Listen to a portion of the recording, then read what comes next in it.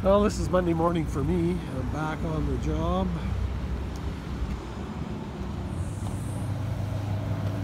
So this is a new site we're just starting at here. This is a tilt-up warehouse.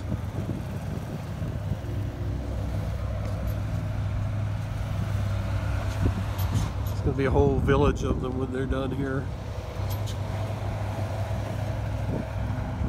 This is the area I grew up in as a kid, so a few changes from 60 years ago. Anyways, this is my Monday short.